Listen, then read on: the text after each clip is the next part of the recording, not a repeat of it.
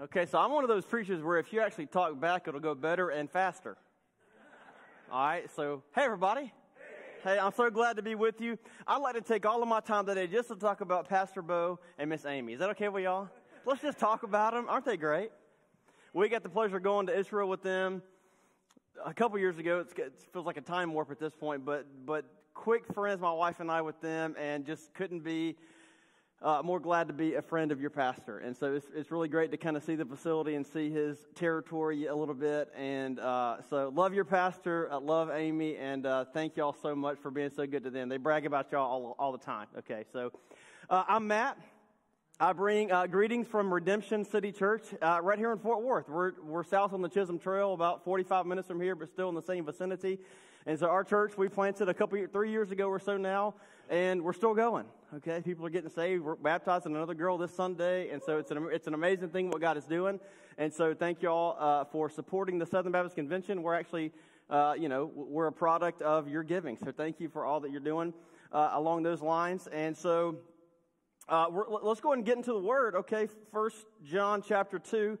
Really want to dig in. My dad uh, called me a couple of months ago, and it just rang once, and he hung up, and I thought, well, he probably didn't mean to call me, so I'll call him back just in case. And he, so I called him back and go, hey, Dad, you mean to call me? He goes, sorry, son, I, I booty called you. I go, nope. no, Dad, you butt dialed me. Those two things seem similar, but there is a world of difference. Somebody tell your neighbor words matter. Okay, so let's dig into the text today. Let's not go too fast, and let's really un- try and understand what God is saying. First John chapter 2, we're going to read verses 1 to 6 and then 15 to 17, okay? My little children, John writes, I'm writing these things to you so that you only sin a little bit. No. So that you may not sin. But if anyone does sin, we have an advocate with the Father. Jesus Christ, the righteous, is your advocate, child of God. He is the propitiation for our sins, and not only for ours, but for the sins of the whole world. And by uh, and by this we know that we have come to know Jesus, if we keep his commandments. Whoever says, I know him, but does not keep his commandments is a liar, and the truth is not in him. But whoever keeps his word, in him truly the love of God is perfected. By this we may know that we are in him. Whoever says he abides in him ought to walk in the same way, in the same way that Jesus walked. Look at verse 15. Child of God, do not love the world or the things of the world. If anyone loves the world, the love of the Father is not in him. For all that is in the world, the desires of the flesh and the desires of the eyes and the pride of life is not from the Father, it's from the world. And the world is passing away, along with all of its desires, but whoever does the will of God abides forever. The grass withers, the flower fades, but the word of our God will stand forever. Sobering words here in, in uh, 1 John 2. You ever thought about how high the bar is for us? You know, I mean, I, I, we're preaching through Philippians in my church right now, and this past Sunday we preached about how that we are to be humble like Jesus. Literally the most humble person who's ever lived. Yeah, go and be humble like that. Okay? So the title of my sermon today is Obedience is not a bad word. It's not. Obedience is getting a bad rap here in 2024. You do you. Follow your heart, live your truth. We hear all these sorts of things, but what we find as we step toward Jesus and as we step into our apprenticeship with Him, He's trying to set us free. He's not trying to weigh us down with all these burdensome commandments that we'll never live up to. He's not trying to make us feel guilty all the time by setting the bar so high that we can never live up to the bar. That's not what He's doing. He's providing us with His easy yoke his light burden, and we find that obedience to Jesus actually sets us free. So, when John writes in verse 1 there, my little children, I'm writing these things to you so that you don't sin, he's not kidding. Okay? Uh, now, he knows that we will, and hopefully less and less as we mature in Christ. So then he makes sure that we understand and know, even in that moment, as he hopes that we don't sin, he goes, But you have an advocate. So when you do, Jesus is your advocate right then and there. What a good God that he not only gives us a pathway, but he gives us himself as an advocate all the time. Again, obedience is best for you. So I got my first speeding ticket when I was 16. as I was leaving the movie theater after watching the original Fast and Furious. True story. Okay. I saw Dom and Brian do their thing on the streets of LA. I was pumped up. I got on Highway 84 in Laurel, Mississippi, and I hit the ground running. And there are the red and blue lights. Is there anything more terrifying than being 16, guilty, and seeing the red and blue lights? Okay. You know, John, in chapter 1 of the Gospel of John, he talks about how the law is grace. And so, what felt like the worst night of my life, what felt like, you know, it's, it's never, it's never going to be that, it's terrifying, it's awful, it was actually God's grace to me. That police officer was not giving me the worst night of my life, he was giving me grace. So, w- that we have to see God's law like that. So, again, what felt like a terrible night was actually, who knows what would have happened in the next mile? Who knows if I'd made a habit out of speeding as a 16 year old knucklehead? What could have happened? I could have hurt myself and others. And the law protected me, even though it hurt in the moment. We have to see God's way, God's way, God's pathway, God's law in that way. God calls things sin because he wants the best for you. He's creating a pathway for us. And so John says in verses 15 to 17 of 1 John 2, don't love the world. Talking about loving first this weekend. Don't love the world. He says it's always going to let you down. Everything that is promising you, pride and greed and self centeredness, it's never going to deliver. All that's passing away. But obeying God and living in His way will never perish. And we're like, great, now what? Okay, I want to love first. Uh, I want freedom. I, I want to, you know, go away from the world's way and align my life with God's way all the more. But as the great Ricky Bobby said, like, but what do I do with my hands? What's next? What do I do? Great, I'm in, I'm inspired. Now what? Jesus said he's the way. Okay? Jesus doesn't just offer inspiration, but a pathway, an actual way. He told his disciples, Follow me, and he meant that. Like, do what I do, walk where I walk, say what I say, react, act like I'm acting and reacting. Our church, we walked through the book of Acts last year, and that word way is everywhere in Acts. Increasingly so, the word grows and actually becomes a label for the whole gospel of Jesus. Christians were even, they even started to be called people of the way. Okay? And so a way suggests a journey of transformation, right? With steps of maturity, both individually and corporately. So when Jesus was making disciples, he didn't just take some guys to a lecture hall and show them a great PowerPoint. Okay, that's not what he did. Uh, it wasn't just a matter of acquiring knowledge, he taught them how to love. Now, right thinking, deep study, uh, striving to know right doctrine is essential. Okay, we don't throw the baby out with the bathwater here. We don't forsake knowledge. A follower of Jesus is eager to be a student of the Word. If you cut us at our church, we believe the Bible. We love God's Word. Psalm 1 2 says, We delight in the law of the Lord. That's fantastic, okay? But in our tradition, and I've been a Baptist my whole life, okay, in our tradition, we prioritize knowing over practicing we prioritize sitting over actually training and practicing the things of God. The Bible talks quite a lot about putting these things to action. You all know James 1:22 says to not just be hearers of the word, go and be doers of the word. Do you ever experience a gap uh, between new knowledge and information and what you seem to do the next day? Not just me. That's good. Maybe you've noticed there's kind of a gap there. This is abundantly clear this time of year for us Cowboys fans. And I'm a true one. It hurts. I'm going to watch the game tomorrow, but I'm not happy about it, okay? Uh, you know, I remember when the schedule was released, was released last May or so. They released the NFL schedule, and I'm pouring over it, and I'm saying crazy things like, if we can squeak out two wins in November, this is, this is it. We're going to be sitting pretty. I believed that this was the year. I can make a case that next year, new, new defensive coordinator, anyway, I, I can make a case okay? But we, the information at hand might have led us to believe that we were not going to break the three decade cycle of a great season followed by an early playoff loss. Okay. But the, so the information didn't lead to some kind of change in the way that we approached the season as fans. And so I, so I, I get, so I experience, we all experience, like, I really want to be like Christ. I really want to, I'm showing up at conferences, I'm coming to church, I want to be like Jesus. Yet all the knowledge that I'm accruing doesn't always translate to my way of life. It's almost like we can't think our way to holiness. You know, uh, what if that's because you aren't just a thinking thing? Uh, what if our understanding and approach to discipleship has been just, just a hair off?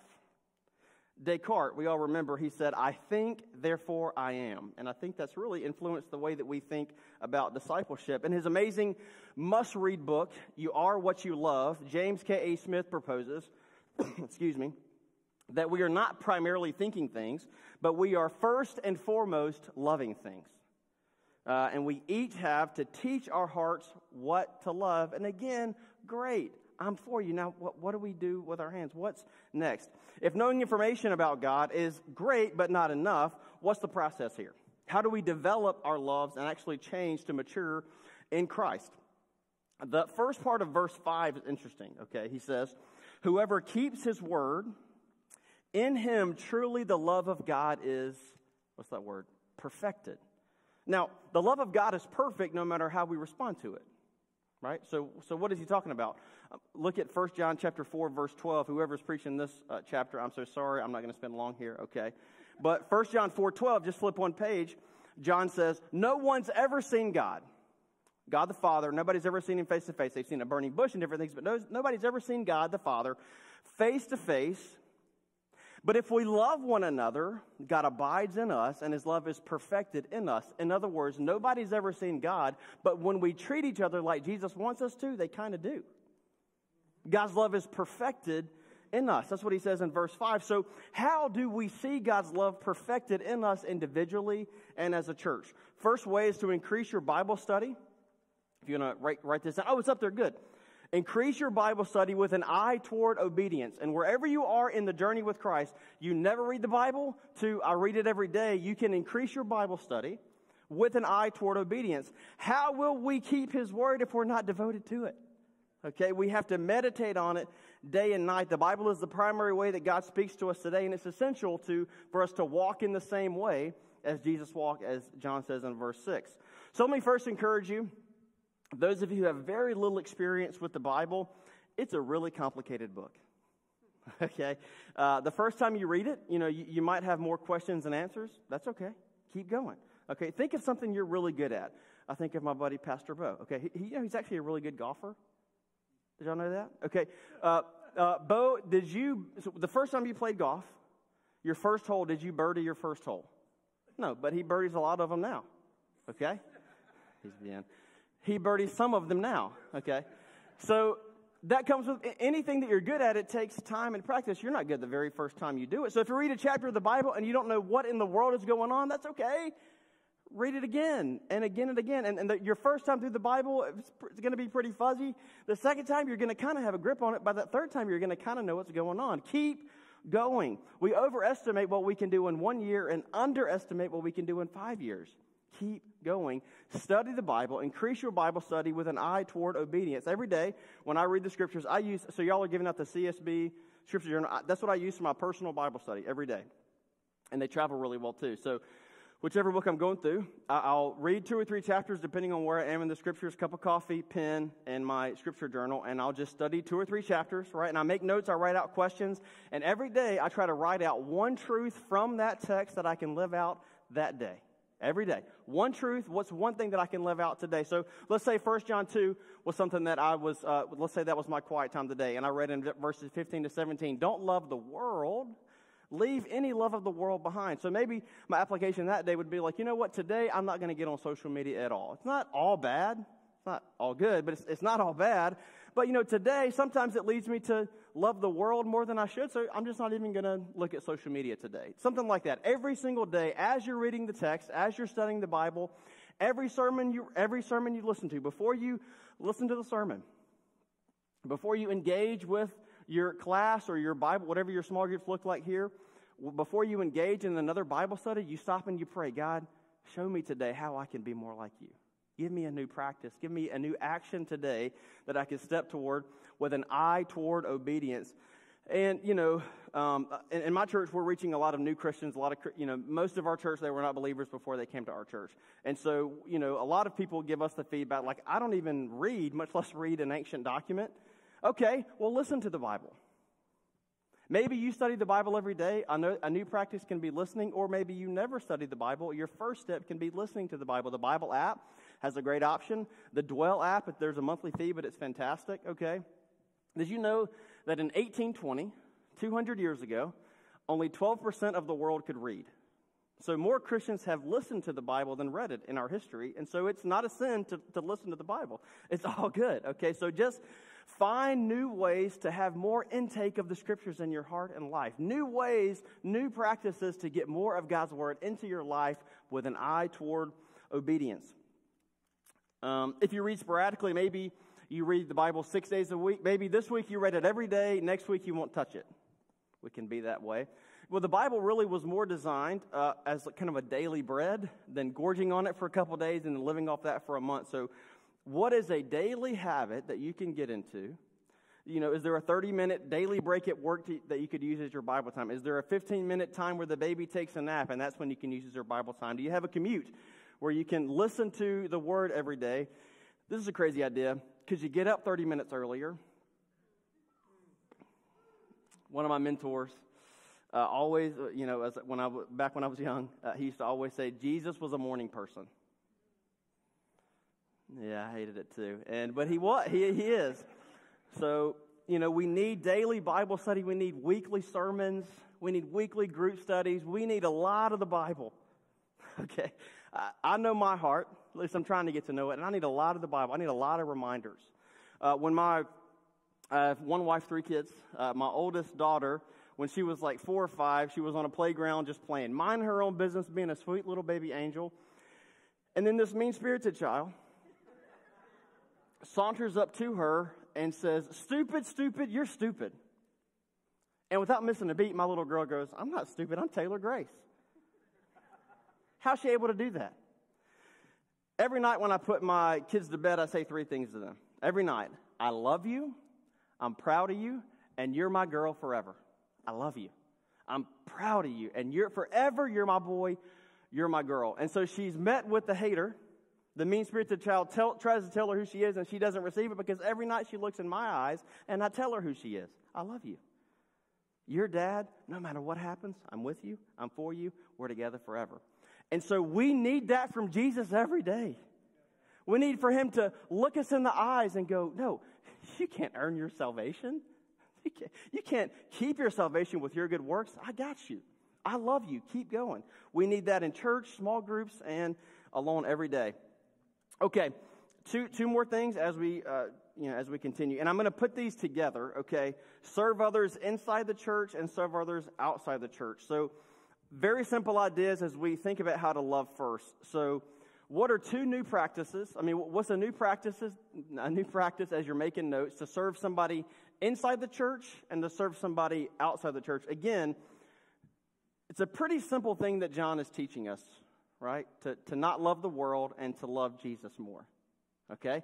And so, how can we practice that? As you're making notes, try to come up with an idea of implementation in your own life. If you, you probably have found by this point that the more that your world is about you, the kind of more angry and tired you'll be. And the more that your world is about others, the more kind of free you feel. That's what Jesus is trying to give you in your life. And so, get specific. What is a regular practice where you can serve others and receive nothing in return? What, how can you regularly choose the lowest place, as Jesus said in Luke? So outside of the church, um, and so I, I, even as I walked in today, you'll have so many local mission things that y'all are doing. It's really inspiring and awesome. So join in one of those things. At my church, we're serving in the food bank, and we started English as a second language program. There was a young girl in our church last year. She had an interaction at a Walmart with a lady who moved to our country and can't speak English, and this young college girl, she was telling me about it. She goes, Imagine how lonely that is. You know, they make it to our awesome country, this, the, the land of freedom, the land of opportunity, and then she can't even read the road signs and doesn't know who to ask. That's how Jesus would react to somebody who doesn't speak English, I think, in our country. And so she goes, I wonder what we could do. And so she wrote a curriculum and did all these things and has recruited volunteers in our church. Every Tuesday and Thursday night, we teach people how to speak English, right? And so what does it look like in your life? What's a practice? uh, that you can serve someone outside the church. Um, my family, uh, and this, you know, uh, it's not rocket science. You know, a lot of times, so my family, the first Monday of every month, we bake and take cookies to a neighbor on our street. We only have like seven people on our street. So by the end of the year, about two times we've taken cookies to our neighbors. And, you know, our kids end up sneaking a cookie. They love, they love this practice, right? And we, we just find a way to serve our neighbors. What does it look like in your neighborhood, on your street, in your life within your church. You can join something that's already happening in your church or start something like that or both. Inside your church, I guarantee you that your kids' ministry needs more volunteers. I haven't talked to Pastor Bo about it, but I'm going to go and guarantee you that you could jump in on that. And so parking teams, safety teams, all those kinds of things. And so again, instead of just going, yeah, I'm going to serve people more, I'm going to love first, how? What's the new practice to increase love in your life? Practice makes perfect. Any coach ever tell you that when you were a kid? It, actually ends up being true. Practice makes perfect. So if you want to love like Jesus, that's a marathon that requires quite a bit of training.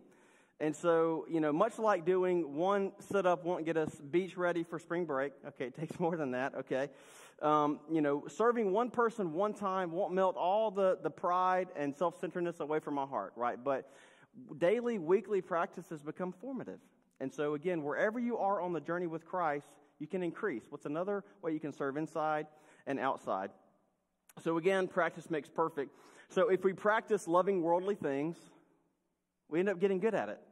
Right? If we practice Jesus' pathway, our, uh, our love grows. You know, Judas, his betrayal of Jesus wasn't spontaneous. Right? He had been practicing greed. He was the one that kept their money bag. So instead of having like a, a, ministry account and a debit card like we do now, Judas kept the disciples' money bag. That way, when they went from city to city, they could buy food and supplies as they needed. So Judas had kind of been sneaking some money all along. He practiced greed for quite a while, and then when it came time, he after practicing greed over and over, he sold Jesus for 30 pieces of silver right? And so, it, so him selling Jesus out was actually the culmination of a pattern in his life. He had been practicing, he had gotten good at greed. And it's a sobering reminder. The death that results from sin isn't always visible at first. You know, very often the thing that first dies is our conviction about it. And so, as we change our schedules and as we change our routines, we practice Jesus' way. So, one of the things that I tell my kids is we don't say can't. Can't isn't a Kendrick word. I bet I've said it 10,000 times. Oh, hey, buddy, can you grab that for me? No, I can't. We don't say can't. Okay. So uh, last fall or so, me and my oldest son, uh, he's a he's a football. He loves playing football, and so we were outside, and I was quarterback, and he was running routes. We were practicing, and so then he has the idea I need to run routes, and he throws to me, and I go, I let it slip. Oh, buddy, I can't do that. Dad, we don't say can't. So I began to run routes, and quite a lot of them, uh, if I'm honest with you. And the next day, everything was sore. I mean, ankles, knees. I felt every route. So, in my 2024 goals, one of my 2024 goals is to be physically able to play Pee Wee flag football. And I knew that you would all heartlessly laugh at that. I knew that was coming. But I have to train, so I've been stretching. I've been working on my, I'm about to turn 40, Bo. Okay, I got to work on my agility, okay? And so if today, if you were, you know, if you were to go, you know, I haven't run since 2013, but enough's enough. I'm going to run a marathon tomorrow. So it's more than just a matter of the will, like your lungs are going to give out. your body's not ready for that marathon. So uh, as we talk about God's love being perfected in us, we don't just go, that's it. I'm never going to be prideful for even a second the rest of my life. That may not be a marathon that you're exactly ready for. So serving each other within the church and serving people outside the church, it's a marathon. So it's a marathon. And as we get ready, we train, we practice. Practice makes perfect. Somebody asked me recently how our church is growing, you know, which is it's a miracle to me. And honestly, I think the reason we're growing is we are serving the heck out of Fort Worth. I was at a breakfast, like a community breakfast a couple of weeks ago, and the principals at West Park Elementary and Benbrook Elementary found me and they go, Your church is awesome. I was like, I know. Why? You know, tell me everything. And it's like, it's not anything I'm doing, it's parents and volunteers of our church that are just getting after it. They're, they're chairpersons of the PTA and they're taking donuts to teachers and all these things. They're living out what the gospel describes.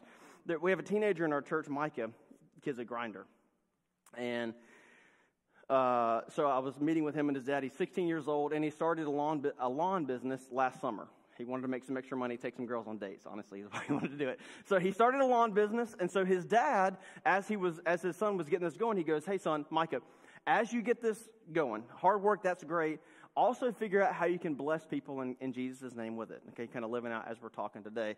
And so his dad, he said, Hey, tell Pastor Matt kind of what you've been doing. And Micah goes, Well, I've been, uh, you know, cutting a few widows' lawns for free. I go, Micah, that's awesome. How did you find the widows? And he goes, I look for tall grass. It's not rocket science. If you look for needs to meet and people to serve, you'll find them. And I think that as you do that, you know, everybody who goes on a mission trip comes back with the same feedback. I went there to bless them, but they blessed me. What are they saying? I thought that going to Guatemala and getting my fingernails in the dirt, that that was really going to help the people. But actually, as I lived in Jesus' way, I felt free. I felt good about it, right? And so, and I just believe that as we embody Jesus' character and serve others, that our church will grow. And as we take the lowly position of service in our city, people will be drawn in. And you know why? Because Jesus is awesome. You know? And if we'll just kind of act like Jesus, more peace will invade our hearts and more people in our city will want to know Jesus. So, as we study the life of Jesus, you really don't go far without seeing him serve somebody. So, as we live that out and serve others, as we embody uh, the way of serving others like Jesus, we end up changing, right? So, who can you serve outside these, these walls this week? Who can you serve inside these walls this week? What regular practice can you add to your life so that love has the chance to grow? And as we are primarily loving things, not thinking things, how can you let love grow in your heart? Um, we change by changing, right? And so, in conclusion, uh, studies show that 55% of listeners re engage when they hear the words in conclusion. So, in conclusion, conclusion, conclusion. Um, running from the world's way and to Jesus is something you'll never regret. The world is offering you death. It's got really shiny packaging. But that's really what they're offering is death. And Jesus is offering you life. And Jesus loves you enough to demand obedience. Um, and let me say something so it's explicit. We're not talking about earning salvation today. That's not the idea. The Bible is crystal clear that it's only hope if it's in Jesus. It's not hope if my salvation comes down to how good I am or how hard I pray or if I serve widows or whatever else it is. If my hope is in me or in my performance, I'm sunk, okay? But praise God, my salvation is secured in Jesus. So we're not talking about earning or keeping your salvation. We're talking about once you're in Christ, the freedom that is before you by diving more deeply into His Word every single day, by serving people within our church, by serving people outside of our church, so that love grows within our heart and we don't just want to be loving people, but we actually practice it so that we become the people that Jesus wants us to be. Uh, okay, so let me pray for us. And are you coming up next? Okay, let me pray for you guys. God, thank you so much for First Baptist Justin. What an honor it is to be in this place where for over 100 years disciples have been made, the gospel has been proclaimed, missionaries sent out. And God, we, we want to actually ask for more, that you would do more of that. That you would save people that right now in Justin, Texas aren't even thinking about you. That you would uh, they, would, they would see baptisms and more churches started. God, thank you for Pastor Bo.